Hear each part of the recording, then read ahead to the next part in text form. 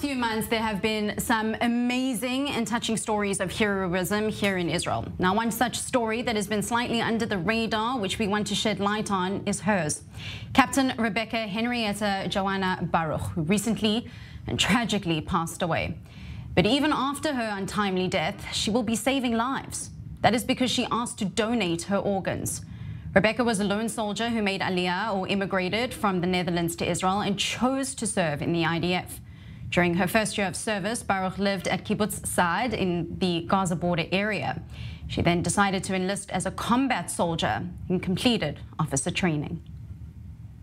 Well, I now have the great honor of being joined from The Hague by Robert Baruch, the father of Captain Rebecca Henrietta Johanna Baruch. First and foremost, I salute both you and your daughter. What an unbelievably amazing young lady. Can you tell us a little bit about your beautiful girl and the service that she did in the IDF? It's um, it's a story. Um, which um, uh, over the last few days I, I had the opportunity to explore and to find out more about her because as as most parents know, uh, children at a certain age decide not to tell everything um, uh, uh about themselves to their uh, to their parents. I, I, made a parallel. Uh, we had a beautiful shiva night here in the um, in the Jewish community, and I recalled her bat mitzvah, and I remembered uh, actually, our bat mitzvah was this parasha, Parashat uh, Yitro, uh, in 2011, and I shared uh, the uh, the experience that he walked up to, onto the bima, and I thought to myself, who is this woman?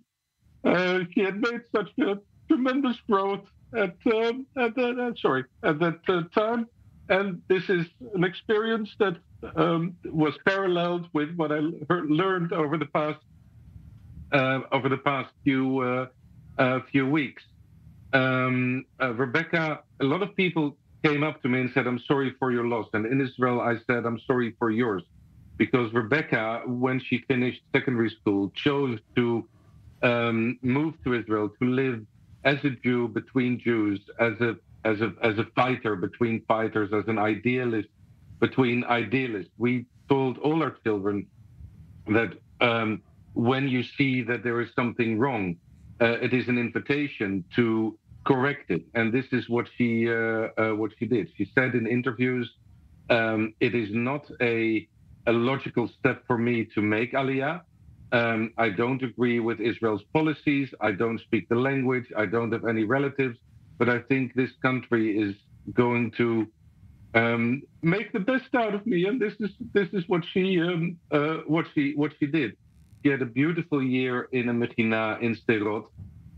People from Sderot know uh, the famous restaurant uh, Hummus and Tahina, which was her famous her her favorite uh, uh, restaurant. She told herself Hebrew on a near native speaking level in a year. She enlisted uh, to the army, and then had the opportunity to choose for a um, combat role, and then choose to be uh, an officer. And all this because she knows that whenever you have the opportunity to change something that you don't agree with or to strengthen something you do agree with, it's only to take a um, sorry to take uh, an active role. And this is what she did. She started in um, uh, the 717 unit, as she said, playing cat and mouse with terrorists and smugglers in the um, uh, in the Negev desert.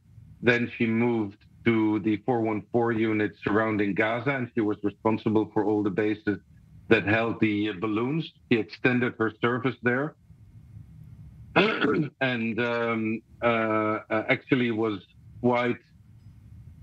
I'm, I'm not sure if that's the word, but this, is she saw she saw that there was a lot of room for um, um, for improvement uh, there. She wrote proposals uh, at one point, and this was well documented. One of the balloons fell down on the wrong side of the border, and she did not ask for orders or permission. She went in with a few men and uh, and retrieved the um, uh, the balloon. She wrote a proposal for improvement, and we know what happened with the uh, proposals for improvement that were done with the intelligence um, function around uh, around Gaza. He left the uh, the army in March of 2023, and started preparing her entrance to uh, to university. Uh, um, every Saturday, she demonstrated with as as tens or hundreds of thousands of, of other Israelis for democracy and inclusion in uh, in Tel Aviv.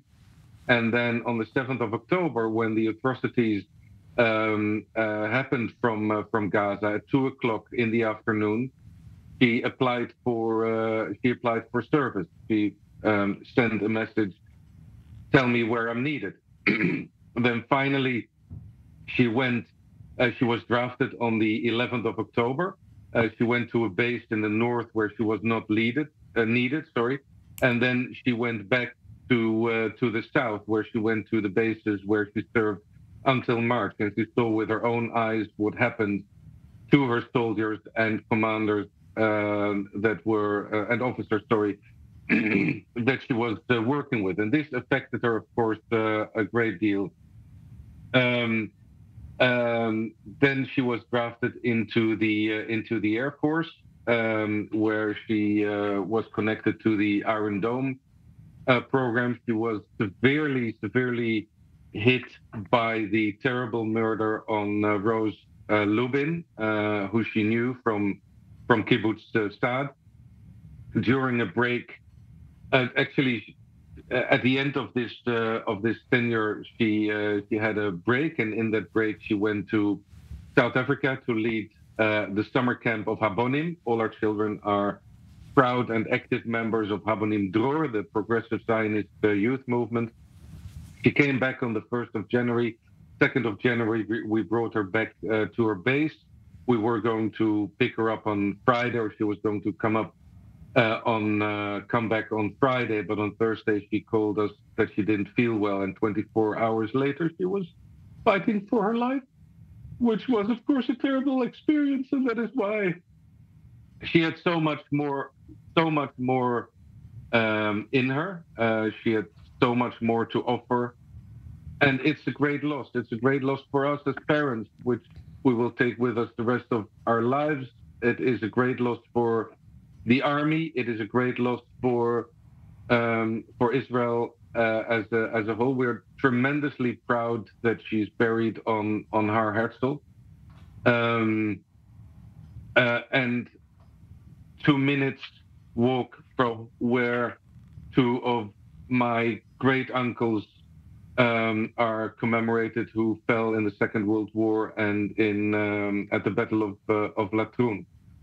So it's it's it's a it's a terrible, sad story of of a talent that doesn't fulfill uh, the promise of a of a potential that is not uh, uh, uh fulfilled. And we love her and we miss her and we are supported by literally thousands of people and messages mm-hmm. and and which is which is amazing. Um, and and in the end when i look at it from a bigger perspective you know when we were on Har Herzl there were two graves to the left of her uh, that were yet to be covered. And the next day there were three on the other side. And it's every parent's fear when their children uh, are in the uh, are in the army, and for us living in the Netherlands, not understanding the military, not having been in the military um, uh, ourselves, um, and of course being surrounded by people who have completely different understandings of what's going on in in Israel, uh, if I say it mildly. Um, it's a different situation, but I must say we are the support from the Air Force, from the Army, also is uh, is tremendous. Robert Baruch, if there's any any consolation in this major loss, as you mentioned, for you, the army, the state of Israel, it's that even after her death, she's going to be saving so many lives. I want to thank you so much for taking the time to be with me here on our breaking edition, and just wish you continued strength. And if I could jump through the screen to give you a giant hug, know that I would. Thank you. Thank you.